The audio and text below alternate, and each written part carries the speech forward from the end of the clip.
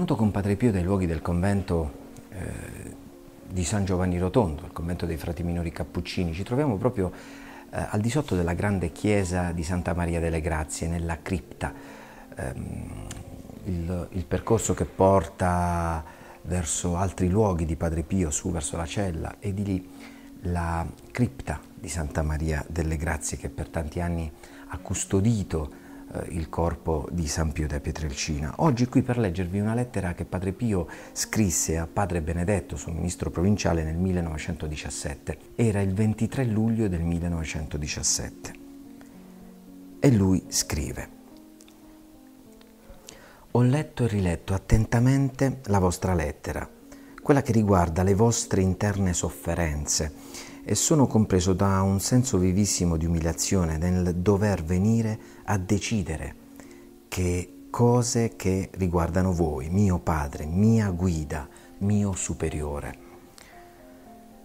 Avrei voluto esimermi da questo dovere, ma non posso. Avrei dovuto soffocare gli stimoli della conoscenza eh, che mi avrebbe rimproverato di aver fatto male. Quindi invertiamo per un po' le parti e parlerò pure con tutta franchezza e sincerità, ecco quasi le parti che si invertono, Padre Pio che fa da direttore al suo direttore spirituale, chiamato a sentenziare su ciò che mi avete espresso nella lettera, dichiaro senza torto alla verità dinanzi a Dio e alla mia coscienza essere tutto effetto di tentazione, ciò che mi avete espresso nella vostra lettera.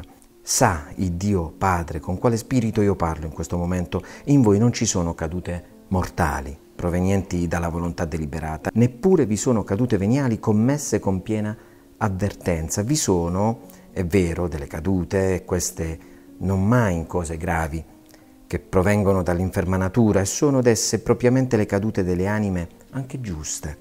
Dio conosce benissimo la ragione per cui permette queste cadute nei suoi eletti, quando anche in questo non vi si ricavasse che il solo profitto della mortificazione delle anime sarebbe gran cosa.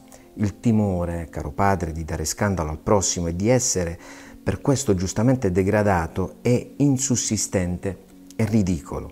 La ragione sì è perché ogni punizione suppone sempre una colpa e colpa volontaria, ma tutto questo manca, quindi la punizione non avrà mai luogo.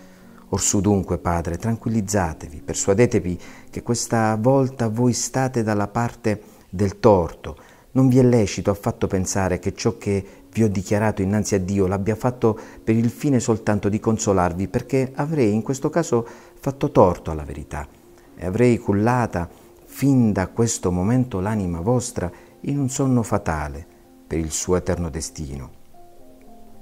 La carità, in tal senso, mi servo delle vostre stesse parole, sarebbe odio funesto e la pietà una crudeltà spietata. Quindi acquietatevi a queste assicurazioni che vi fo dinanzi a Dio, l'ultima delle sue creature, e troverete pace della vostra coscienza.